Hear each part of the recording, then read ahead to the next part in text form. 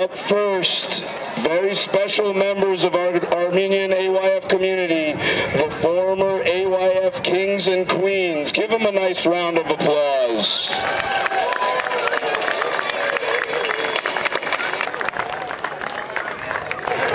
All right, now time for the chapters. And as is customary, last year's winners starting us off. And if you remember, for the first time in AYF Olympic history, we had a tie for first place. Here comes last year's first place champions, the Providence Varantian Hey Kids, and our hosts from last year. The Green Machine.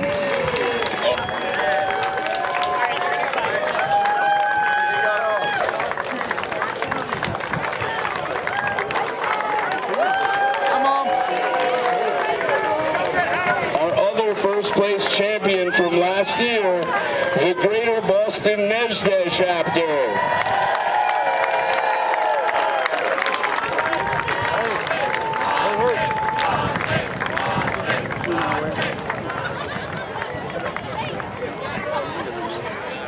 Chicago Ararat.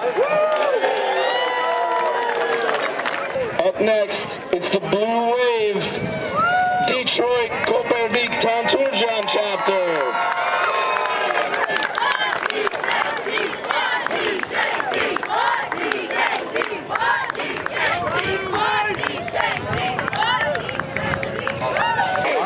Next up, we have the small but mighty Granite City Antranik chapter.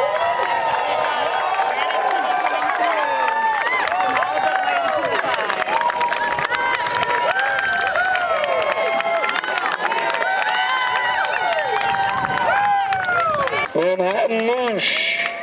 Oh, I'm walking here.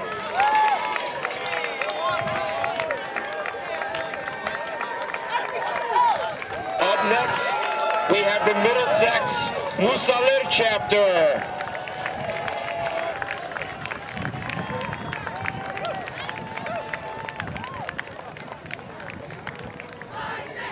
Here come the Arsens.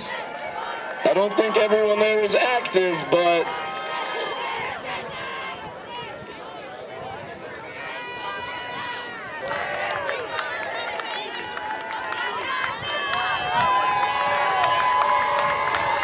here come the Arsens.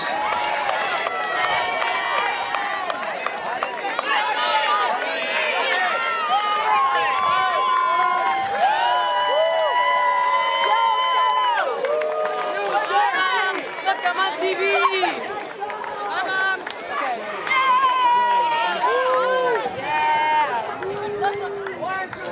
There's Alessio. Next up, it's the New York Hairenik chapter. It's the North Andover Sassoon chapter.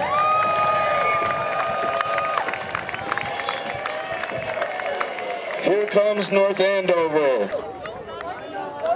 Next up, sporting some new jerseys, the Philadelphia Sebouh chapter.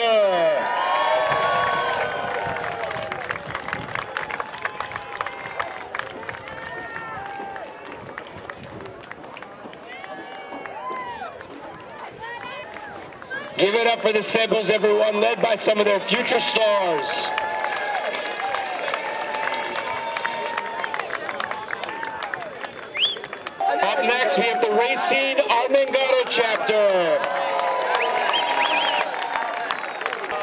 The Toronto Simon Zavarian chapter. Our gracious host for next year, the Washington, D.C. Ani chapter.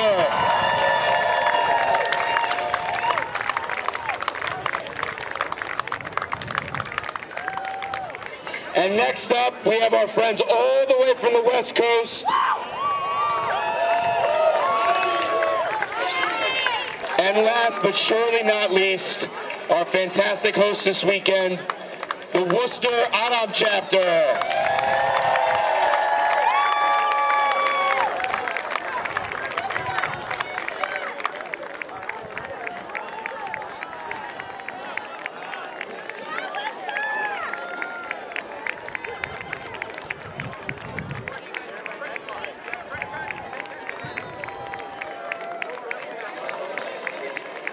Thank you to our host for bringing it back to where it all began. Come on, everyone, give it up for the Worcester Aram chapter.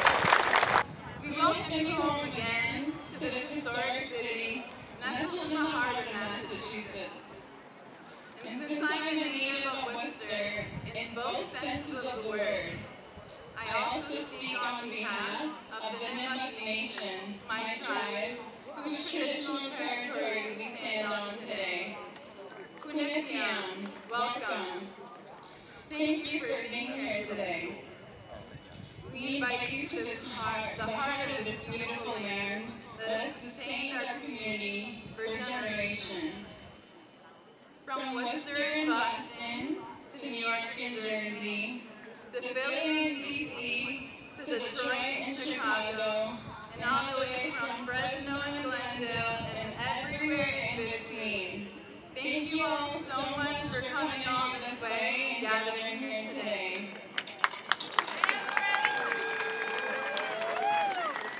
And thank you, Very Reverend Father Ardak Arapion from Holy Trinity Church, Reverend Father Mikael de Osromian from Whitinsville, and His Eminence Archbishop Anushavan Tanielian for joining us today.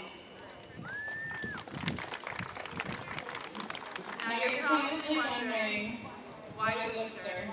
I know I heard it. Well, my response is, maybe it's time for a history lesson. Did you know that the classic yellow and black smiley face was invented here by Harvey Ball in 1963? What about rocket fuel by Robert Goddard in 1926? What about the Valentine? During the early 1900s, Worcester was the primary center of the commercial Valentine industry in the entire country. Now you know. And Armenians were here the whole time.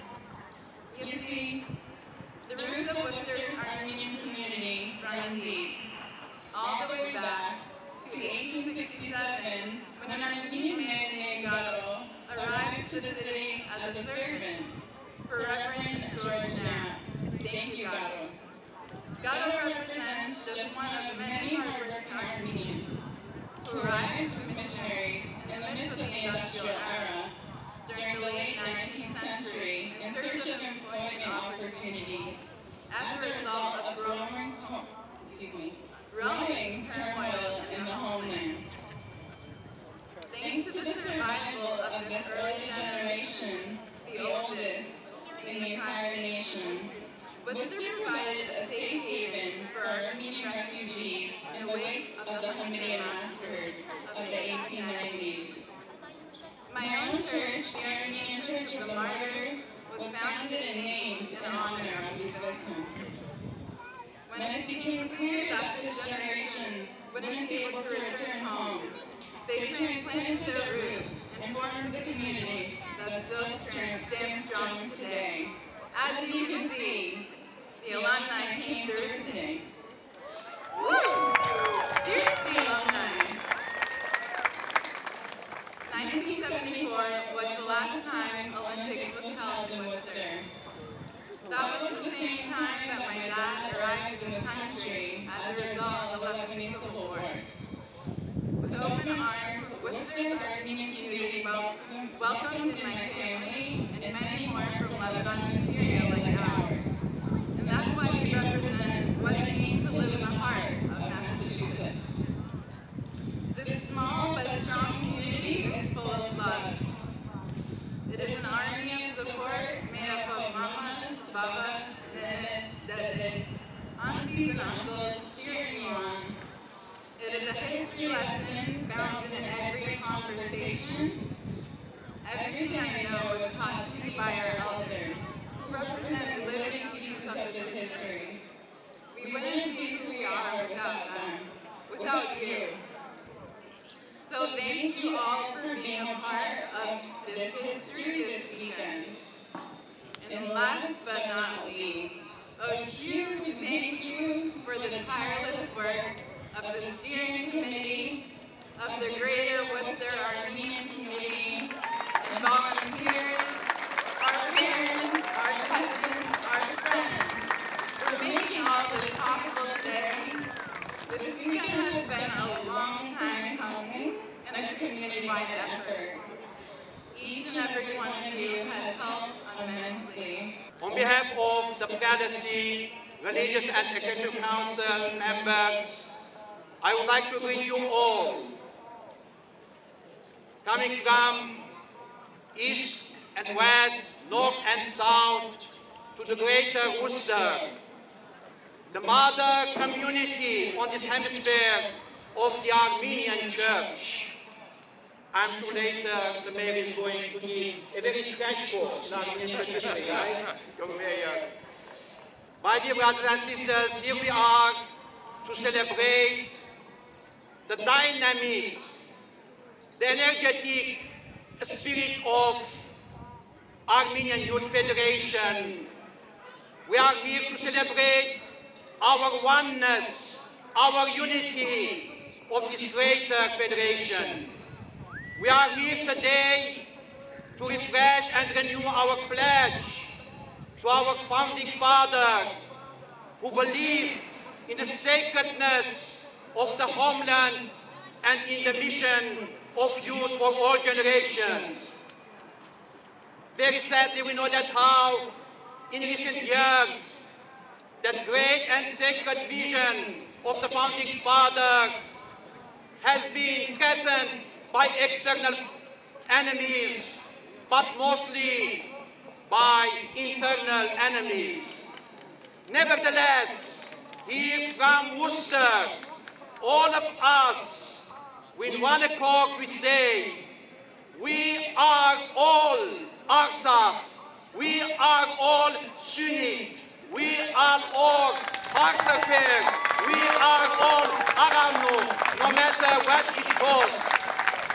Nothing can separate us from our commitment, from our belief, from our aspirations. All of us, we know that few will carry the cups with them back to home. But let us all be filled with the greatest message of a legacy of 5,500 of Armenian spirit, which I believe that is refreshed in our lives. That's why take it with all understanding, love and joy, always singing a nice Armenian song which says, Սիրենք միություն, չանենք վատություն, միշտ բարձր բահենք, AYF անուն։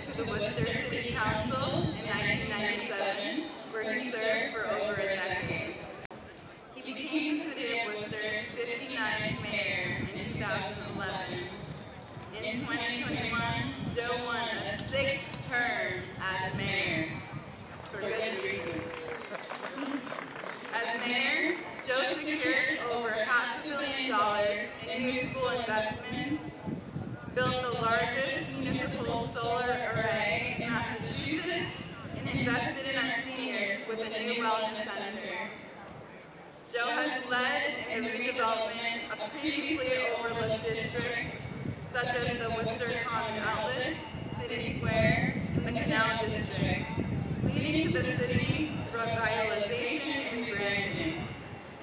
Additionally, he has been a leader in bringing art and culture to the city, embracing immigrants and refugees alike, with community-led policies when it comes to reducing violence.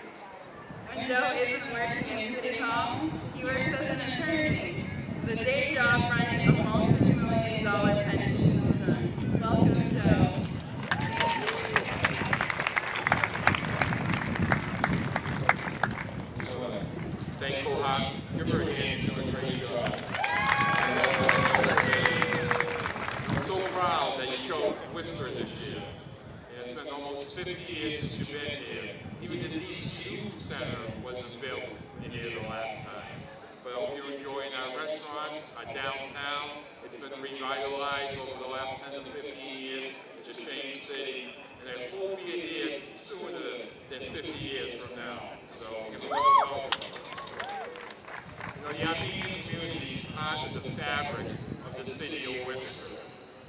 58 people predate many of the largest ethnic groups in our city. The story of the Armenian people and the genocide is written into the history of our city. Generations ago, many of your family members said, welcome to Worcester. Our city was the first stop of thousands of Armenian families fleeing genocide. The city of Worcester was the home the first Armenian church in the Western Hemisphere, not just in the country, but in, half of the world. Your family spread across our country, first to Watertown, then to New York, New Jersey, Chicago, Los Angeles, and Detroit. They grew and became part of the shared history. I was proud to stand with your people to remember the 100th anniversary of the Armenian genocide. We planted a tree with George, and uh, in front of City Hall to remember so that future generations will never forget. Two years ago, I again stood with your community to protest the genocide in Karabakh by the Azerbaijani majority. I'm pleased to stand with you again today happier circumstances to recognize the contributions of your parents and grandparents and great-grandparents to me in the city of Worcester. This is a great event. We'll see you soon. Enjoy the activities. Enjoy our restaurants in downtown Worcester. Thank you.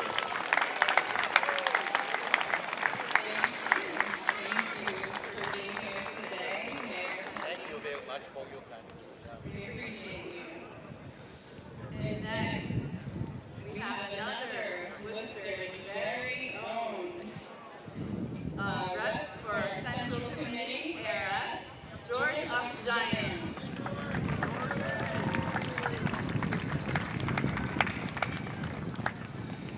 Thanks so much. So as I there, I know you had to go to another function, but thank you for being here. Uh, So yeah, 1974, and a few of us were talking, somebody mentioned it, it was their first Olympics, and as I thought about it, I think it was my first Olympics as well. I came, I have distinct memories of watching my cousins compete for Worcester in that Olympics. My cousin Claude in the high jump and my cousin Renee uh, in the distance races. So I have fond memories of that. And a couple of years later, I joined the AYF. So um, those that have been part of this in the history of trying to bring the Olympics back to Worcester understand the full magnitude, magnitude of making that happen and the long, twisted journey of, of it happening. And the mayor didn't want to say it, you know, all these things he talked about, revitalizing Worcester and, and making it a more attractive city, it really wasn't done for the Worcester community. It was done to bring Olympics, and we have to go through that process first. Uh, Worcester is often called, the Worcester Aram chapter is often called the mother chapter of the AYF. But the reason for that is often misunderstood. I think people think it was the first AYF chapter, and it was.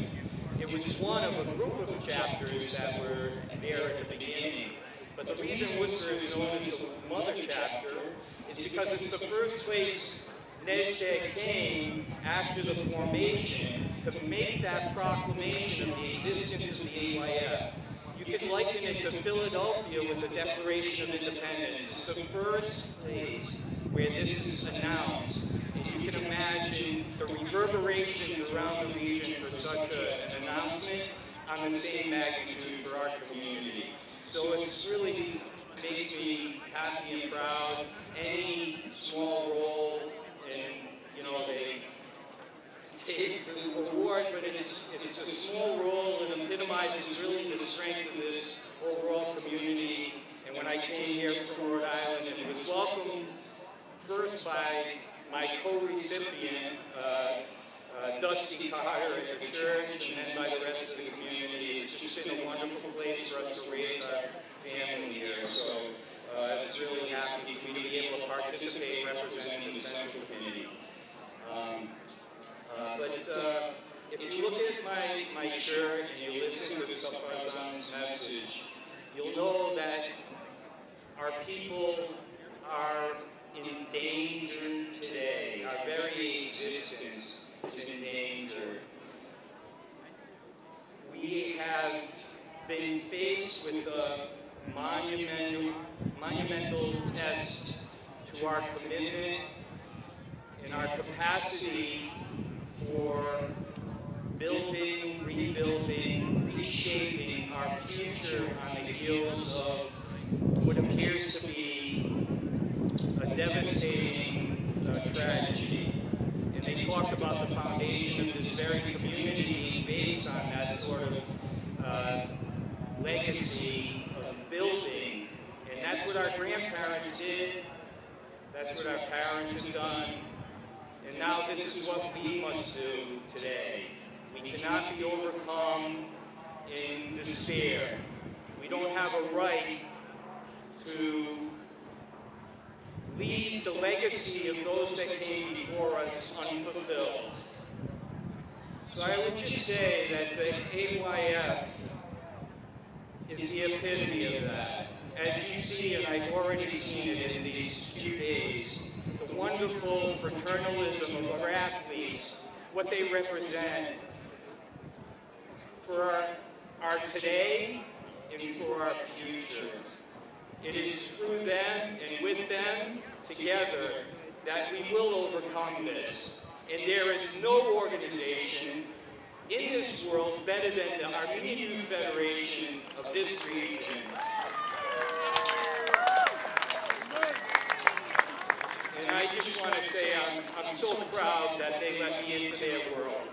Thank you. We and George, we're very proud to have you in our community. Thank you so much. Next, I will invite our Central Executive AYF representative, Angela Nadek Mukherjee.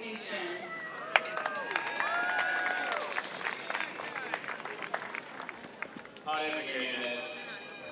Thank you to everyone who made it out to Worcester, the starting point of the organization we all know and love, the AYF-YOAR. As you know, the Olympics is an amazing tradition filled with fraternalism, respect, honor, and pride.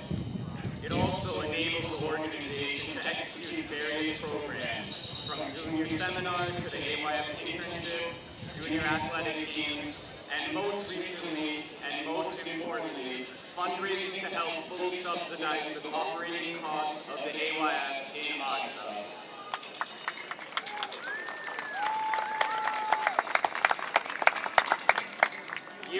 Year our community, alumni, supporters, and friends come to support the Olympics, ensuring the financial security of the AYF.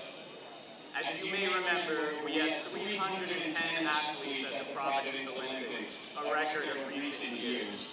The Central Executive is extremely excited to announce that we have an incredible 317 athletes competing this year. Another step in the right direction. I hope each of you were proud to Artsakh National Anthem so beautifully sung by two of our Worcester AYF members. Among all of the celebration and tradition at the Olympics, we must keep in mind our brothers and sisters in Artsakh, the heart of our Armenian nation.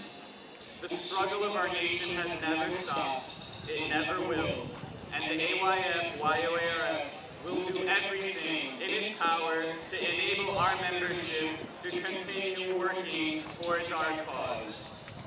Shaunage Mesu Portu. The CE would like to give a huge thank you to the Worcester Aram Chapter for hosting such an extremely successful Olympics after 48 years away from where it all began. Good luck to all of our athletes, and may the best team win.